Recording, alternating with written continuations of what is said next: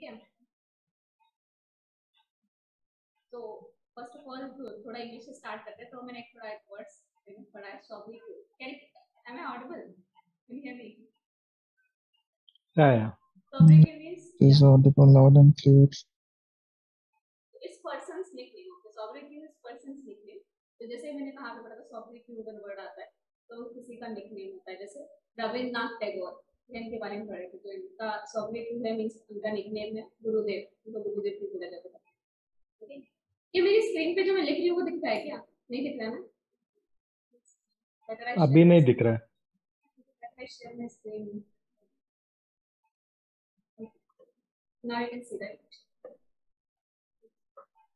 क्या है? Socrates means person nickname जैसे रविन्द्रनाथ टैगोर का था गुरुदेव नाम. It's a sobriquet. For example, Krishnavir का Krishna.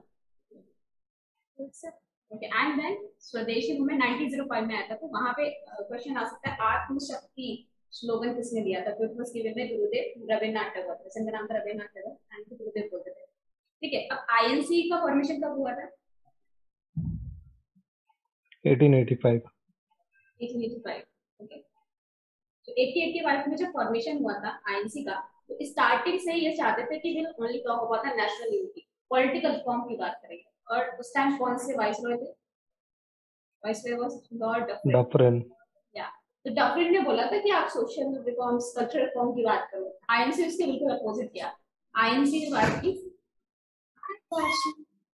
आईएनसी ने बात की किसकी? पॉलिटिकल रिफॉर्म की। एंड स्टार्टिंग से abstain themselves from social reform जैसे हमने कभी भी एंटी की बात की थी। तो अगर स्टेटमेंट अगर इस तरीके से आता है कि यू नो आईएनसी ने बढ़ चढ़ के यू नो बहुत ज़्यादा सपोर्ट किया सोशल रिफॉर्म का you know anti untouchability INC ने कुछ नहीं किया। क्लास स्ट्रगल जो क्लास स्ट्रगल किस किस के बीच में था? क्लास स्ट्रगल उस टाइम काफ़ी बढ़ रहा था बिकॉज़ रशियन रिवॉल्यूशन आ चुका था कब से? उन्नीस सौ सत्रह का रशियन रिवॉल्यूशन देखा होगा। तो क्लास स्ट्रगल से दूर रही। तो किस टाइप के क्लास स्ट्रगल हो सकते थे? कैपिटलिस्ट एंड वर्कर्स के बीच में एंड पीजेंट्स एंड जमींदार्स के बीच में। तो इनसे या तो अगर स्टेटमेंट आता है कि आ, कि आईएनसी ने सोशल रिफॉर्म के लिए बहुत काम किया तो गलत हो जाएगा। INC mainly focus was national unity तो इवन लोगों की राइट्स इंडिविजुअल राइट्स को कई बार ताक पर रख के आईएनसी ने यू नो नेशनल यूनिटी के क्योंकि क्लास स्ट्रगल अगर आ जाओगे तो जो नेशनल यूनिटी की चीज़ें वो पीछे हो जाएगी। तो इसलिए उन्होंने हमेशा नेशनल यूनिटी को आगे रखा एंड क्लास स्ट्रगल चल रहा था। उसे इग्नोर किया। वर्कर्स इतना ज़्यादा पार्टिसिपेट करते थे। यू नो लेकिन उन्होंने वर्कर्स की राइट को भी बहुत अच्छे से नहीं रखा। वर्कर्स ने नो सिविल डिसोबेडियंस मूवमेंट में पार्टिसिपेट किया। एंड लेकिन तब भी उन्होंने इतना सपोर्ट नहीं किया वर्कर्स को। कि भी किया जाता है, लेकिन कई लोग बोलते हैं it was necessary at particular time पर यहाँ पे आईएनसी में सोशल रिफॉर्म नहीं हो सकता था तो इसलिए अलग से जो एम जी रानाडे थे, उन्होंने इंडियन नेशनल सोशल कॉन्फ्रेंस बनाई आईएनसी के बनने के दो साल बाद। तो ये काफ़ी इंपॉर्टेंट क्वेश्चन बन सकता है कि वो कौन था इंडियन नेशनल सोशल कॉन्फ्रेंस ठीक है आईएनसी तो हमारी बनती है एटी फाइव में। उसके दो साल बाद एटी एटी सेवन में इंडियन नेशनल सोशल कॉन्फ्रेंस बनती है इसको बनाते हैं एम जी रानाडे ये आईएनसी की ही यू नो सोशल विंग मान लो, क्योंकि आईएनसी में ये सारे रिफॉर्म नहीं हो सकते थे। ठीक है? So it was found by M G Ranade and Raghunath Rao ठीक है? इसको सोशल रिफॉर्म सेल मान सकते हैं आईएनसी का। ठीक है? इसका पहला सेशन कहाँ पे हुआ था? अगर आता है जो इंडियन नेशनल सोशल कॉन्फ्रेंस जो आईएनसी के फॉर्मेशन के दो साल बाद बनी थी, उसका पहला जो सेशन हुआ था, कहाँ पे हुआ था? आईएनसी का कहाँ पे हुआ था पहला? मुंबई। बॉम्बे गोकुल दास तेजपाल संस्कृत महाविद्यालय। ठीक है? वहाँ पे हुआ था उनके प्रेसिडेंट कौन थे पहले? Tashi. W C W C Banerjee first president थे। तो यहाँ पे हमने देखा आईएनसी बनती है ठीक है? 1885 में और उसके दो साल बाद है Indian National Social Conference as a social wing of INC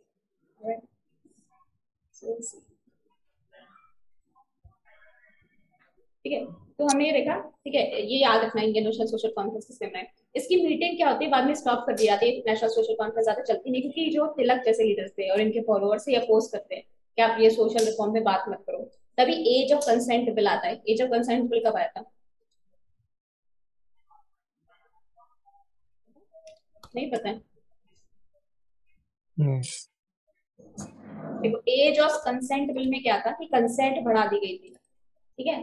जिसमें शादी हो सकती थी तो ये आया था 1891 में। एंड तिलक ने इसको अपोज किया था। तो तिलक को क्रिटिसाइज किया जाता है कि तिलक तिलक मतलब बहुत ज़्यादा मतलब प्रोग्रेसिव नहीं थे लेकिन तिलक ये बोलते थे कि ब्रिटिशर्स तुम क्यों हमारी ना तो तिलक ठीक है? तो मतलब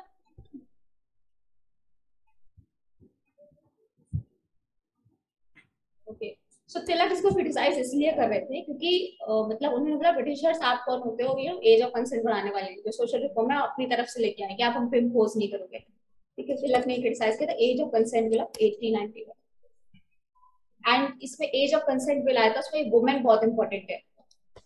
क्योंकि उसका क्या था? The bill? Age of consent bill actually there was a woman exactly I don't remember the name मैंने कहीं और पढ़ा था। कि उसका था पति अंडरस्टैंड तो जो है ना कि उसकी शादी हो गई थी तो अच्छा शादी अच्छा। शादी के बाद she didn't want to live with the guy तो उसे छोड़ना लास्ट चाहती ईयर एक क्वेश्चन आया था यार। हाँ एक डॉक्टर क्वेश्चन आ चुका यूपीएससी मैंने प्रीवियस क्या क्वेश्चन में है? देखा था यार। लास्ट लास्ट ईयर लास्ट हाँ ईयर आ, तो who was a woman behind this age of consent bill I remember या या या। ये ईपीएफ में क्वेश्चन भी आ चुका है विल सी दैट ठीक है यूपीएससी क्वेश्चन लेकिन देखेंगे देन आई टेल यू तो यहाँ पे एज ऑफ़ कंसेंट बिल को क्रिटिसाइज करते हैं। अब आगे चलते हैं ठीक तो 80 89 में क्या होता है? आईएनसी का एक रेजोल्यूशन होता है ठीक है? अगर पूछा जाए कि मुस्लिम्स के ये लोग क्या अप्रोच था तो इसके देखो पहले हमने 80 85 देखा कांग्रेस बनी 80 87 में क्या हुआ? इंडियन नेशनल सोशल कॉन्फ्रेंस बनी social wing of INC then 80 89 में आईएनसी एक रेजोल्यूशन आता उन्होंने बोला कि हम कोई भी ऐसा इशू नहीं लेंगे जो माइनॉरिटीज को अफेक्ट करेगा। क्योंकि नो वहाँ पे अलीगढ़ मूवमेंट चल रहा था। अलीगढ़ मूवमेंट में कौन था? सर सैयद अहमद खान ठीक है? तो बोल रहे थे कि हाँ बेबी सॉन्ग इनके लिए बेबी सॉन्ग लगा दो तो बेबी सॉन्ग देखना है बेबी आपने कुछ पहना नहीं है अच्छा तरह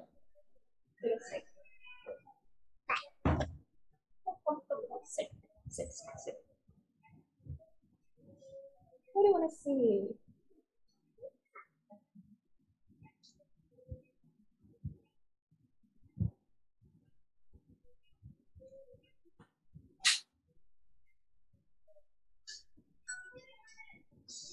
see there Has she see?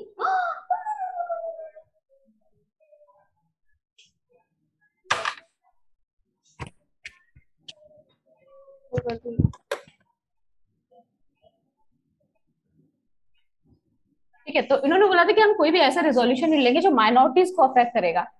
ठीक है और जब तक उसे मेजोरिटी और मुस्लिम उसे सपोर्ट नहीं करते तब तब तक हम माइनॉरिटीज का कोई भी इश्यू नहीं उठाएँगे। तो ये आईएनसी ने ये रेजोल्यूशन दिया था उस time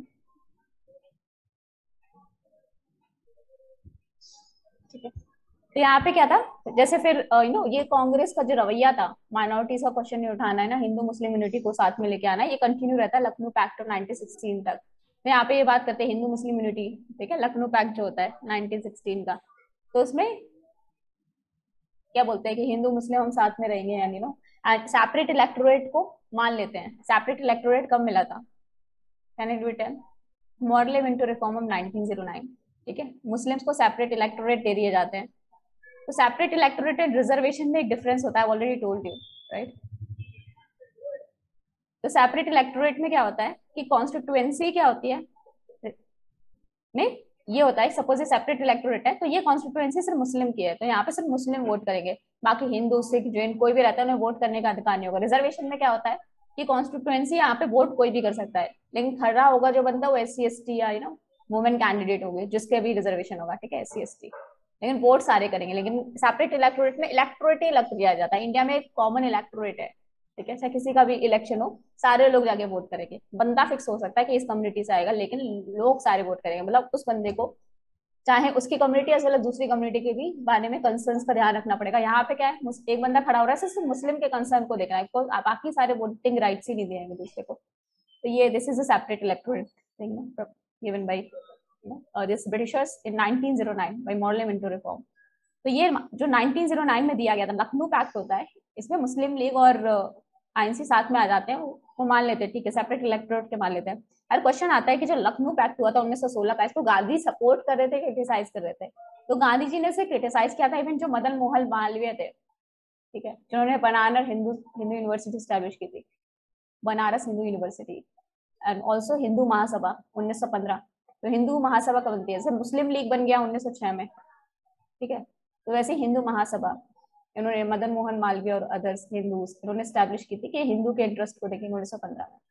and Banaras Hindu university यहाँ पे स्टैब्लिश होती है उन्नीस सौ सोलह के अराउंड यहाँ पे मदन मोहन मालवीय इंपॉर्टेंट है मदन मोहन मालवीय कौन कौन शुरू करता है? मदन मोहन मालवीय। जैसे बीएचयू का थोड़ा हिस्ट्री देखो तो एनी बेसेंट कोई स्कूल स्टार्ट करती है तो उसको ही ना अपग्रेड करके। क्या हुआ? कौन भी है आराम करो ना। ठीक है तो यहाँ पे क्या होता है? So it was criticised by Gandhi Gandhi criticise करते सेपरेट इलेक्टेड हाँ Madan Mohan Malviya second round table conference में भी जाते हैं। इसके साथ सरोजनी नायडू एंड अपने गांधी गांधी जी एंड मदन मोहन मालवीय। ये सेकंड राउंड टेबल कॉन्फ्रेंस में जाते हैं। तो सरोजनी नायडू तो वुमेन को रिप्रेजेंट करती है एंड गांधी है, ये लोग आईएनसी की तरफ़ से जाते हैं। तो ये लखनऊ पैक्ट को गांधी जी क्रिटिसाइज करते हैं। ये बोलते हैं कि ये कुछ ऐसे मासेस को इन्वॉल्व नहीं कर रहे। This is a pact between rich Hindu and rich Muslims educated and rich Hindu and and educated rich Muslim तो it's not involving the masses and Muslim League was never mass organisation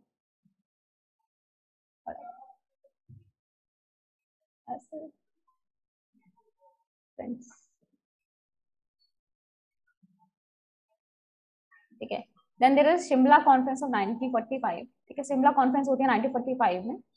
तो यहाँ पे क्या होता है, इसमें भी Muslims को यू नो बहुत ज़्यादा सपोर्ट करने की कोशिश करते हैं। जैसे शिमला कॉन्फ्रेंस होती है, यहाँ पे कौन होता है शिमला कॉन्फ्रेंस में? वेबल तो ये क्यों शिमला कॉन्फ्रेंस बुलाते हैं? देखो वर्ल्ड वॉर वन खत्म हो जाता है तो बोलते हैं एग्जीक्यूटिव काउंसिल को फिर से मतलब क्या करेंगे?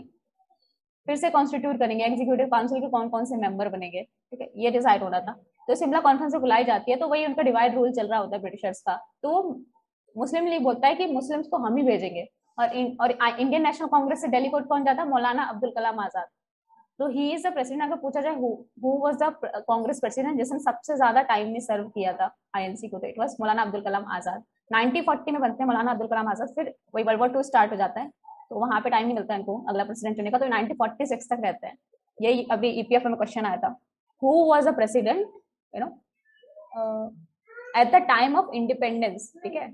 एट द टाइम देखो मुझे दो में डाउट था। एक तो यू नो एक तो उसमें दो स्टेटमेंट में डाउट था। एक तो ये थे हमारे पट, यू नो पट्टा भी सीतारमैया ठीक है? ये तो हमारे आज़ादी के बाद बने थे। ठीक है? एंड आज़ादी के पहले तुरंत अब्दुल कलाम आज़ाद थे। ठीक है? तो इसमें at the time of independence पूछा था तो मैंने अब्दुल कलाम आज़ाद लगाया। बिकॉज़ पट्टा भी सीतारमैया ये आज़ादी के बाद बने थे। ठीक है? सो दैट्स वाई मैंने ये अब पता नहीं कितना गलत भी हो सकता है मेरा। शायद पट्टा भाई सीतारमैया को यू नो पहले भी बना आई डोंट नो ठीक है? तो मैंने ये लगाया अब्दुल कलाम आज़ाद।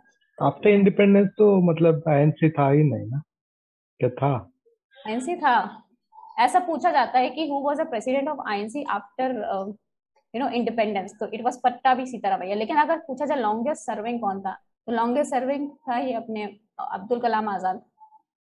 ठीक है छह साल तक ये प्रेसिडेंट रहे थे। बिकॉज़ वर्ल्ड वॉर टू तब तब तब सेशन हो रहे थे क्या? Like like it was sessions were happening every year हो नहीं रहे होंगे तभी प्रेसिडेंट तो प्रेसिडेंट तो बना दिया गया ना एक बार जब तक दूसरा प्रेसिडेंट नहीं बनाएगा तब तो पुराना वाला प्रेसिडेंट रहता था अगर सेशन नहीं भी हो रहा है। ठीक है तो इस तरीके से रहता था। और और अगर पूछा जाए सबसे ज़्यादा बार कौन प्रेसिडेंट बनाया तो चार बार बने मदन मोहन मालवीय। ठीक है चार बार इनको प्रेसिडेंट बनाया गया।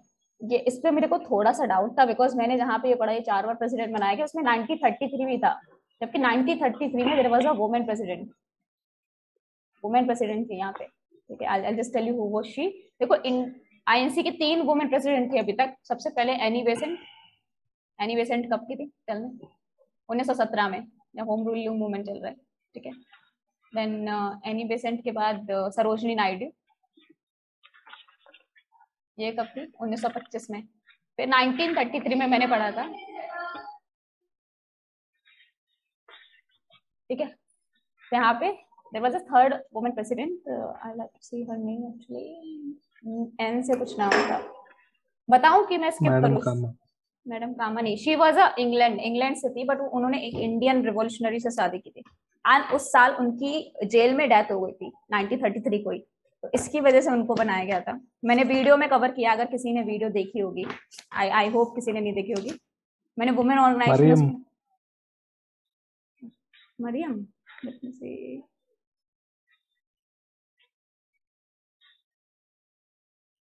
सी No. Okay it was Nellie Sen Gupta okay अच्छा नेली सेन गुप्ता इन्होंने इंडियन रिवोल्यूशनरी से शादी की थी और इनके पति की जेल में डेथ हो गई थी नाइनटीन में। तो उनको उस साल बनाया जाता है। नेली सेन गुप्ता या नाइनटीन ठीक है तो तीन अपने ठीक है वुमेन प्रेसिडेंट रहते हैं Annie Besant Sarojini Naidu and this Nellie Sen Gupta nineteen thirty three right so तो हमने शिमला कॉन्फ्रेंस देख ली तो यहाँ पे और मुस्लिम लीग और आईएनसी को इक्वल वेटेज देते हैं। वही डिवाइन एंड रूल पॉलिसी चल रही होती है यहाँ पे एक तरीके से। और मुस्लिम लीग बोलती है, मुस्लिम्स को हम भेजेंगे। और आईएनसी से मौलाना अब्दुल कलाम आज़ाद तो जब सिर्फ़ तुम मुस्लिम भेजोगे तो मतलब आईएनसी के जितने भी मुस्लिम मेंबर्स हैं, वो नहीं जा सकते हैं यू नो एग्जीक्यूटिव काउंसिल में। तो ये एक एक तरीके से डायलॉग आ गया। तो शिमला कॉन्फ्रेंस मतलब मौलाना अब्दुल कलाम आज़ाद जो प्रेसिडेंट थे आईएनसी के, वो भी नहीं जा सकते थे, एक तरीके से। फिर आईएनसी जब बना था who was a viceroy Dufferin तो इन, इन्होंने जो बोला था कि सोशल इशू पे बात करो कांग्रेस बिल्कुल अपोजिट बात करती थी पॉलिटिकल इशू पे सोशल इशू को बिल्कुल नकार दिया था। स्टार्ट भी किया था? International Social Congress in 1977 after the formation of Congress in 85 के दो साल बाद लेकिन उसको भी तिलक के अपोजिशन से बंद करा दिया गया था। फिर नारायण गुरु एंड गांधी के बीच में क्या होता है? देखो अब इन लोगों की अनटचेबिलिटी को लेके क्या इनकी नो वो थी सोच थी। तो नारायण गुरु एंड गांधी जब मिलते हैं तो गांधी बोलते हैं even all leaves of a tree are not same मतलब एक ट्री ट्री के जितने लीव्स हैं, वो सेम नहीं है तो कैसे आप बोल सकते हो सारे हिंदू यू नो जो हिंदू हैं, उनके हिंदू फोल्ड में है। मतलब एक तरीके से कास्टिज्म को जस्टिफाई करने का बोल रहे थे। तो नारायण गुरु इस तरीके से इतफाक नहीं कर रखते थे। मतलब you can not discriminate with the you know trees even अलग अलग हो, लेकिन आप डिस्क्रिमिनेट नहीं कर सकते। तो ये नारायण गुरु ने बोला। तो ये तो अगर ये क्वेश्चन आता है कि ना, ये बात किसके बीच में? थी तो नारायण गुरु एंड गांधी के बीच में। तो सी सो इज़ नारायण गुरु ठीक है? तो ये 80 56 से थे ठीक है? 80 50 टू 90 हम्म। 28 एंड अक्षरधाम इनके ऊपर बना है। इनके ऊपर बना है। या पक्का? चेक हाँ। करें? अक्षर या या चेक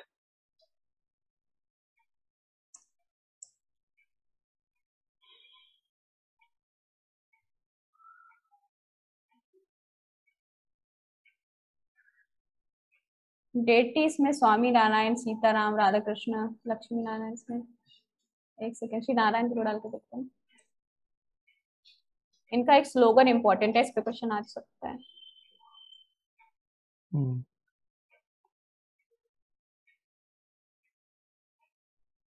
ऐसा कुछ मिल नहीं रहा है आई डोंट नो देख लेना तुम अगर तुम्हें कहीं पढ़ा अच्छा तो जो गया है वो शायद देखा होगा आई डोंट नो लाइक मैं तो गई हूँ मैं गई हूँ अक्षरधाम अच्छा तब ओके। नारायण गुरु के बारे में पढ़े नहीं होंगे कोई नहीं है। तो एपीजे अब्दुल कलाम और मनमोहन सिंह ने इसे इनॉग्रेट किया था अक्षरधाम को। Fine hmm. ठीक है तो ये नारायण गुरु थे इनका एक स्लोगन इंपॉर्टेंट है इस पे क्वेश्चन आ सकता है। One caste one religion and one God for all सबका एक ही गॉड है एक ही कास्ट है एक ही रिलीजन है। इन्होंने श्री नारायण गुरु हम्म। और इनके एक चेले थे उन्होंने इससे भी आगे बढ़ के इन्होंने दिया था no caste no religion no God ठीक है तो इनके चेले का नाम मेरे को याद नहीं बट श्री नारायण गुरु और इनके चेले का इस तरीके से स्टेटमेंट आ सकता है कि ये किसने स्लोगन दिया था। तो कौन से? नारायण गुरु थे। इनके चेले का नाम मेरे को याद नहीं है। ठीक है तो जो भी तो यहाँ पे हो गया, ठीक है। तो इन्होंने, इनके बीच में ये स्टेट यू नो वार्तालाप होता है। फिर एक इंपॉर्टेंट क्वेश्चन आ सकता है कि मजदूर महाजन, ये सभा थी, किसने बनाई थी? इसको टेक्सटाइल लेबर एसोसिएशन बोलते हैं। कैन टेल ये गांधी जी ने बनाई थी 1916 में। ठीक है, अहमदाबाद, गुजरात में। और अहमदाबाद में वो खेड़ा सत्याग्रह होता है। Ahmedabad mill strike sorry Kheda Satyagraha तो वहाँ पे अहमदाबाद में स्ट्राइक तो जहाँ पे मिल स्ट्राइक होती है, उसी में, उसी के पहले मतलब 1916 में इन्होंने मजदूर महाजन सभा टेक्सटाइल लेबर एसोसिएशन बना दिया था। क्वेश्चन बहुत ही इंपॉर्टेंट आ सकता है कि हु फॉर्म द मजदूर महाजन सभा? ठीक है। तो ये एक मॉडल ट्रेड यूनियन थी। Trade union actually trade union कब लेजिटिमाइज हो जाती है? ट्रेड यूनियन देखो देखो उस टाइम क्या होता है रिवॉल्यूशन आ जाता है 1917 का। 1917 में सबसे इम्पोर्टेंट रिवॉल्यूशन क्या था उस टाइम का? एनीबडी बॉल्शेविक रिवॉल्यूशन और Russian revolution Russian Russian Revolution. Okay मतलब Russian it is alive then okay so Russian revolution ठीक है? रशियन रिवॉल्यूशन था उस दिन सत्रह। तो जितने भी कैपिटलिस्ट थे उन्होंने बोला इस तरीके से लोगों ने रिवॉल्यूशन करके जार को फेंक दिया वहाँ के जो लीडर थे वहाँ को हटा दिया। मार्क्सिस्ट रिवॉल्यूशन ठीक है, जिसमें मार्क्स एंड लेनिन इन लोग की आइडियोलॉजी थी, ठीक है। तो इन्होंने क्या था कि कास्ट स्ट्रगल करो मतलब जो भी वर्कर्स हैं, सब लोग स्ट्रगल करो, इनको कैपिटलिस्ट को खाड़ के फेंक दो तो जितने भी कैपिटलिस्ट थे ऑल ओवर द वर्ल्ड वो डरने लगे कि ऐसा हो जाए। इंडिया में भी वो डर था, ठीक है। तभी जो सोशलिस्ट थे कम्युनिस्ट थे, उनको उठा के फेंक दिया जाता था इंडिया से है ना तो इसके लिए पब्लिक सेफ्टी बिल भी आता है नाइनटीन का। इसमें यह था कि जितने भी कम्युनिस्ट हैं इंडिया में, उनको उठा के फेंक दो। और जब भगत सिंह जब थे ये सेंट्रल लेजिस्लेटिव असेंबली में 1928 में यही बिल टेबल पे रखा था, जब उन्होंने फॉर्म फेंका था। तो वो लिंक बनाओ, क्योंकि कौन थे? Bhagat Singh he was a communist socialist and public safety bill communist को बाहर फेंकने के लिए था कि इंडिया में जो भी कम्युनिस्ट आ रहे हैं, चाहे यूरोप से आ रहे हैं, चाहे इंडिया के हैं, उनको डिपोर्ट करो। मतलब बाहर बाहर के जो कम्युनिस्ट आ रहे हैं इंडिया में इन्फ्लुएंस ना हो कम्युनिस्ट कम्युनिज्म का कम्युनिज्म में मतलब power with the people power with the you know workers तो सारे कैपिटलिस्ट कम्युनिस्ट से डरते थे, जिस तरीके से रशिया में हुआ था तो इसलिए पब्लिक सेफ्टी बिल आता 1928 का। लेकिन उस टाइम क्या था? उस time Indian National Congress power में थी। इससे पहले सर राजस्थान नो चेंजर वाली चीज़ आ गई थी। काफ़ी इंडियन नेशनल कांग्रेस के लोग यू नो उसमें असेंबली में घुस गए थे। तो उन्होंने इस बिल को पास नहीं होने दिया था। इसे अचीवमेंट भी माना जाता है यू नो कांग्रेस का कि आपने नो उसमें जाके आपने अच्छा काम किया यू नो असेंबली में घुस के इस बिल को पास नहीं होने दिया। तो ये याद रखना, ये किसने फेंका था? बम? भगत सिंह एंड बख्तेश्वर दत्त। ठीक है? तो वहाँ से लिंक बना सकते हैं सारी चीज़ें। बटुकेश्वर दत्त बटुकेश्वर दत्त यस तो नाइनटीन ट्वेंटीज में क्या होता है? तो नाइनटी ट्वेंटीज में अब यू नो वर्ल्ड वॉर खत्म हो चुका है और लीग ऑफ़ नेशन बन चुका है। जैसे अपना यूनाइटेड नेशन नाइनटीन फोर्टी में ना उस टाइम लीग ऑफ़ नेशन बना था। उस टाइम बोला था कोई वर्ल्ड वॉर अब टू नहीं होने देंगे लेकिन हो गया। तो लीग ऑफ़ नेशन फेल हो गया तो फिर बनता है United Nation nineteen forty five में तो उस टाइम लीग ऑफ़ नेशन बनता है ट्रीटी ऑफ़ वर्साइल हो जाती है ट्रीटी ऑफ़ वर्साइल से बनता है League of Nation nineteen nineteen की होती है। तो यहाँ पे क्या होता है? यहाँ पे ये बोलते हैं कि ट्रेड यूनियन बनाएँगे। ठीक है? तभी अपना All India Trade Union Congress ठीक है? ये भी नाइनटीन ट्वेंटीज के राउंड में तो जितने भी ट्रेड यूनियन होते हैं ना, बनना स्टार्ट हो जाते हैं इस टाइम तो लेकिन वो नाइनटीन ट्वेंटी से स्टार्ट होते हैं एंड यहाँ पे गांधी जी का देख लो यहाँ पे, इन्होंने स्टार्ट व्यवस्था ठीक है? इन्होंने उन्नीस सौ सोलह में ही ट्रेड यूनियन बना दिया था, ठीक है? तो अगर क्वेश्चन आता है कि मजदूर महाजन सेवा टेक्सटाइल लेबर एसोसिएशन किसने बनाया था? तो महात्मा गांधी ने बनाया था, अहमदाबाद, गुजरात में उन्नीस सौ सोलह ये मॉडल ट्रेड यूनियन थी। ट्रेड यूनियन क्या होती है? जिसमें वर्कर्स एक साथ आते हैं, अपनी राइट्स को एसर्ट करते हैं। बिकॉज़ वर्कर्स के पास अगर देखें तो जो एम्प्लॉयर होता है, उसके पास ज़्यादा राइट्स होते हैं तो वर्कर के पास नहीं होते। तो सारे एक साथ आके यूनियन बना लेते हैं अपने, अपनी राइट्स के लिए डरते हैं कि हमारी आगे बढ़ाओ, हमारे ये सब। तो trade union you know India में कई लोगों को ट्रेड यूनियन बनाना अलाउड नहीं है। Like you know those who are in you know government services and all this defence में बिल्कुल भी अलाउड नहीं है। डिफेंस में और if you are if if you are caught indulged in any such activity you will be terminated at the same instant. Yes. तो trade union जहाँ पे असेंशियल सर्विसेज़ है वहाँ पे अलाउड नहीं होता है। वहाँ पे आप स्ट्राइक नहीं कर सकते वहाँ पे ना चीज़ें बंद नहीं कर सकते राइट जैसे डिफेंस हो गया इंडिया में और भी बहुत सारी इंपॉर्टेंट चीज़ हो गई। सो यहाँ पे हो गया। क्या हो गया लैपटॉप का? पटकी ईयरफोन्स नहीं लग रहे इसमें। इससे भी नहीं हो रहा, तुम्हारे पास ब्लूटूथ है ना? ठीक है तो यहाँ पे मजदूर महान सभा टेक्सटाइल लेबर मिल एसोसिएशन ये बहुत इंपॉर्टेंट क्वेश्चन बन सकता है। पहली बार मैंने आज पढ़ा वैसे। ठीक है आईएनसी और देखे तो यहाँ पे इन्होंने कभी भी क्लास और यू नो क्लास इश्यूज़ कभी नहीं उठाए लेबर और वर्कर के बीच में पीजेंट और जमींदार के बीच में। तो याद रखना, ये क्वेश्चन आ सकता है कि इन्होंने वर्कर्स के राइट के बारे में बात की, नहीं की इन लोगों ने। इन लोगों ने सिर्फ़ नेशनल यूनिटी की बात की और सारी चीज़ें साइड लाइन में रखा। ठीक है आईएनसी ने हमेशा यू नो इश्यू उठाया रेवेन्यू अप्रोप्रिएशन बाय गवर्नमेंट की गवर्नमेंट कितना यू नो टैक्स ले रही है, पचास परसेंट साठ परसेंट सत्तर परसेंट कभी ये नो इन लोगों ने कभी भी ये इशू नहीं उठाया कि किस तरीके से जमींदार एक्सप्लॉइट कर रहे हैं।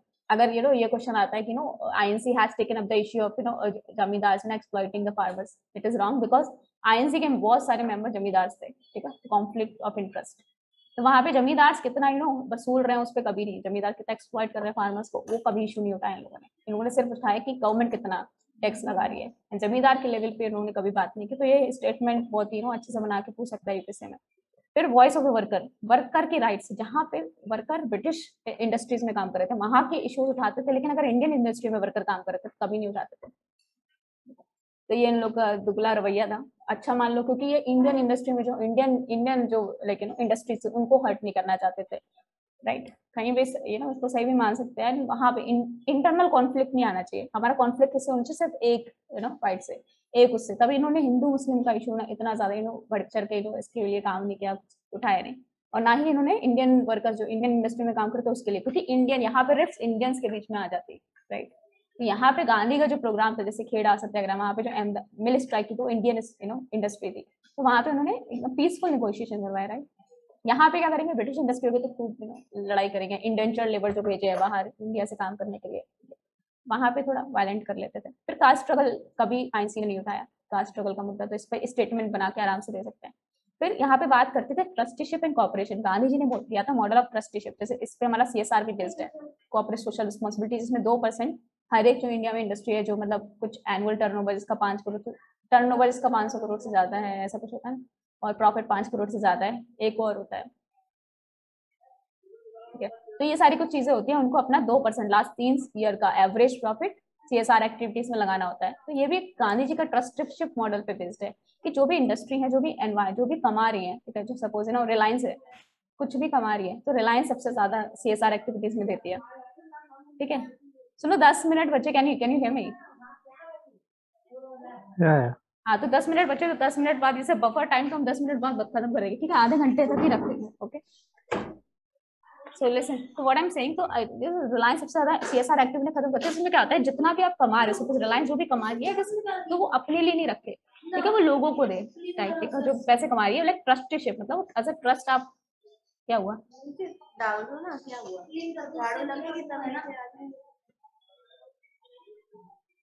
ठीक है?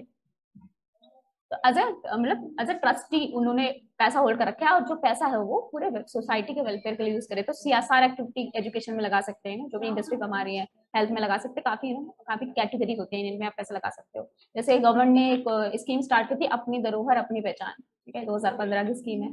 ठीक है ministry of culture ministry of tourism and archaeological survey of India इसमें क्या था कि कोई भी इंडस्ट्री सपोज़ रिलायंस इंडस्ट्री किसी भी मोन्यूमेंट को खरीद सकती, खरीदने के लिए मतलब उसकी रिस्पॉन्सिबिलिटी ले लेगी उसको प्रोटेक्ट करने की यू नो बेसिक एम्यूनिटीज जो भी यू नो टूरिस्ट को प्रोवाइड करनी है, पानी का हो गया ना सफ़ाई साफ़ सफ़ाई हो गई और you know waste management everything वो इंडस्ट्री प्रोवाइड करेगी वहाँ पे सीएसआर का पैसा यूज़ कर सकते थे। तो ये ट्रस्टीशिप पे बेस्ड है कि जो भी पैसा कमा रहे हो, आपका नहीं सोसाइटी का है। तो उसको give back to the society because आप इन रिवर पॉल्यूट करो आप एनवायरमेंट पॉल्यूट करो क्या कुछ करो तो you should give back to the society as well तो ये तो इस तरीके से सी तो ये ये बात करते थे गांधी जी हमेशा ट्रस्टशिप एंड कॉपरेशन की।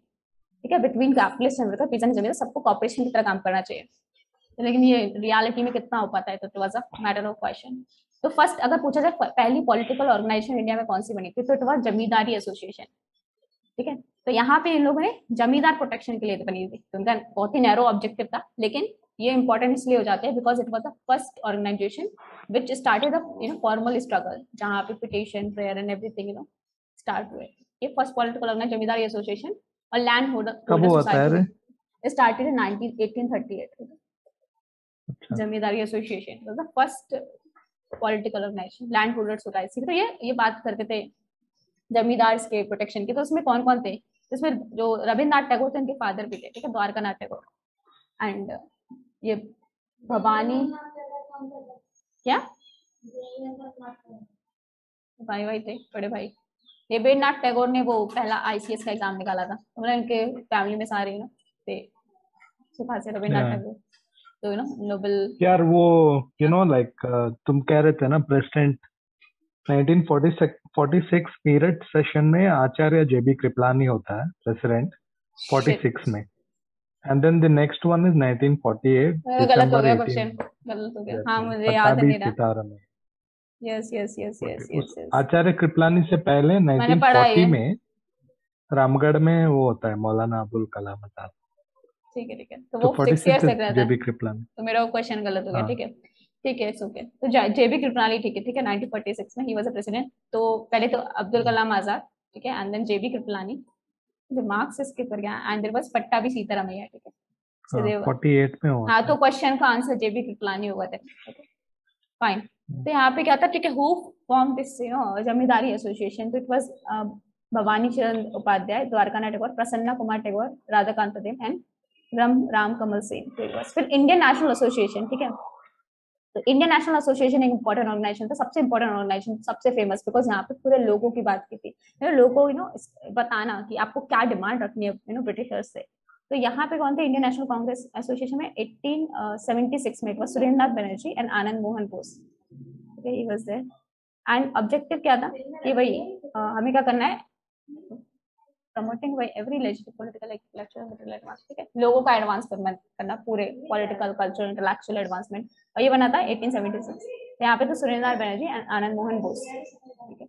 आनंद मोहन बोस इंपॉर्टेंट है बिकॉज़ आई थिंक ये फॉरेन में पढ़ने गए थे तो पहले ऐसे बंद ऐसे पहले मैंने फॉरेन में स्टडी की थी, कुछ ऐसा इनका एग्जैक्टली मेरे को याद नहीं आ रहा। एंड सुरेश नाथ बनर्जी उन्होंने आईसीएस एग्ज़ाम निकाला था, इनको छोटी सी बात पे इनको आईसीएस से निकाल दिया गया था इंडियन सिविल सर्विसेज़ टाइम के इसलिए इन्होंने यहाँ पे पॉलिटिकल ऑर्गेनाइजेशन ज्वाइन करी थी। इंडियन नेशनल एसोसिएशन 1876 मतलब कांग्रेस के बनने से नौ साल पहले। कांग्रेस बनी 1885 में।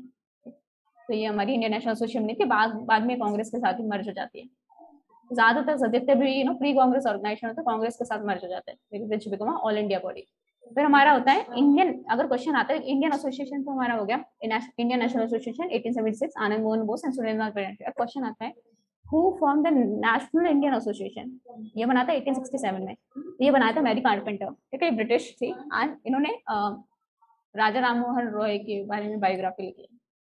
मैरी कारपेंटर अगर नाम आता है Indian national Indian association Indian national association देखो तीनों वर्ड्स हैं, ठीक है? यहाँ पे इंडियन नेशनल ओके तो it is Indian national association and अगर आता है नेशनल इंडियन एसोसिएशन ठीक है? I N and N I A ये बनाया था Surendra Banerjee, Anand Mohan Bose and national Indian association by Mary Carpenter she was a biographer of Raja Ram Mohan Roy alright तो बस आज के लिए रखते हैं।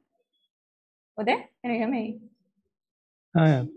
या is is that method is more effective तो मुझे जो जो इंपॉर्टेंट पॉइंट्स लग रहे थे इस पे क्वेश्चन बन सकते हैं तो मैंने वही you know I just try to make it in the notes and मैं ये नोट्स प्रोवाइड कर दूंगी if you feel like anybody is having any doubt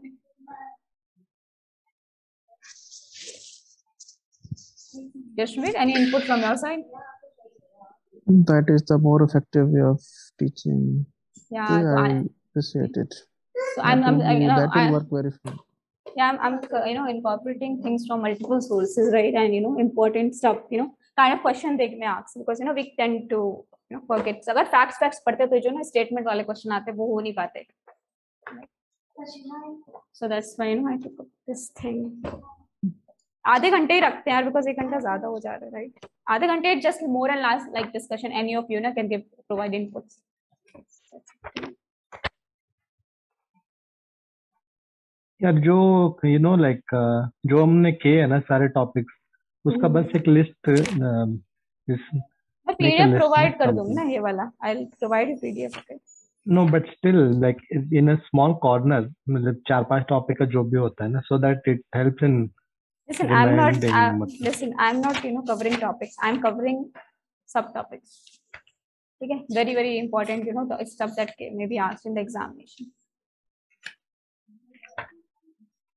Wait a sec, यार एक क्वेश्चन था अगर टाइम बचता है दो मिनट तो आज हमने कौन कौन से किए? We did swadeshi movement and then Harsh Harsh video चल रही है if you don't want to come in the video time हाय हर्ष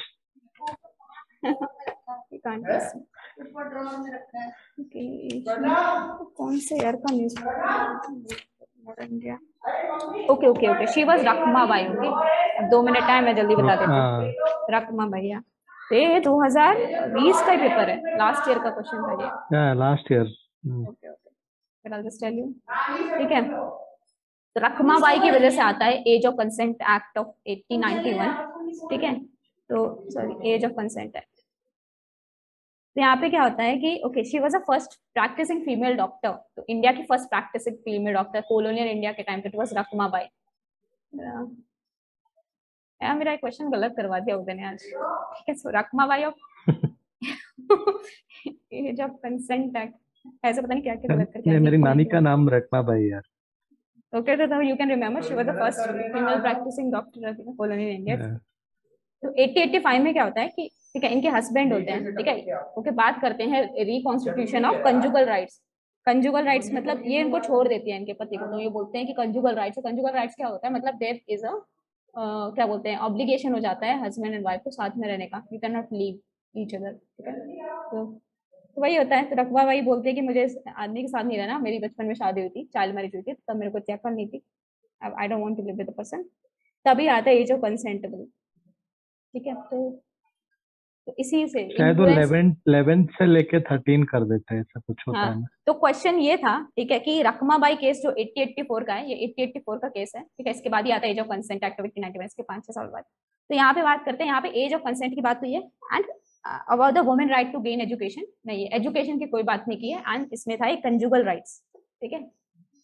तो इसमें ये गलत हो जाएगा एजुकेशन वाला कंजुगल राइट्स की बात थी age of you know consent की बात थी तो ये टू एंड थ्री सही था इसका बट इट फ़र्स्ट गलत था इसमें एजुकेशन की कोई बात नहीं रखमा वे case of 1884 that led to the pass pass passing of age of consent bill of 1891 okay so rakma why she was responsible and it's time for justice robert hill penale so okay we are done with it so